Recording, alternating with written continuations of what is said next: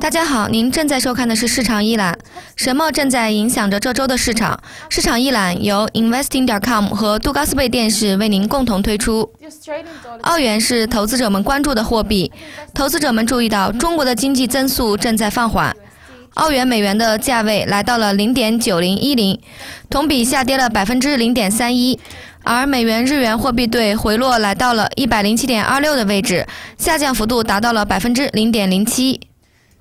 根据周六的公布数据显示，八月份中国工厂产量增速降到六年来的新低，其他一些部门也遇冷。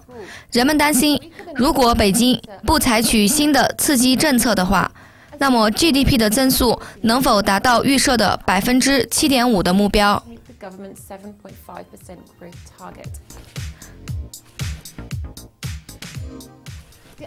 根据周一的最新数据显示，新加坡失业率和上季相比保持不变。新加坡人力部在报告中声称，新加坡失业率年度水平保持不变，为百分之二点零，上季度为百分之二点零。分析家之前预测，上季度新加坡失业率将保持不变，为百分之二点零。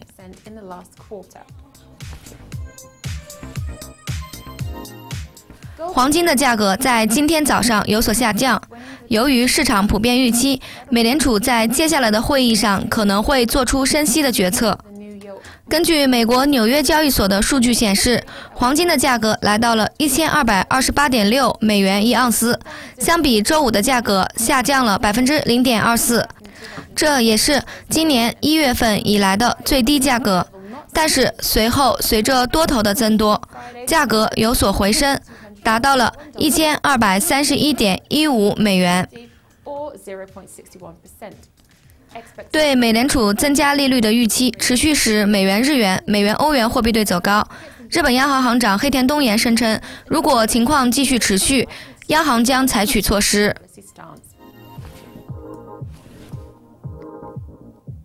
亚洲股市在周一达到了五年来的新低，这是由于受到中国这个第二大经济体的经济增速放慢的影响。中国的工业生产指数走低。此外，关于 MSCI AC 亚太指数，八月份下跌了百分之零点八。该指数的本次下跌是自八月份以来的最大的一次跌幅。在铁矿石市场，由于行业处于产能过剩的状态，导致中国铁矿石和相关产业的价格持续走低。好的，感谢您的收看，再见。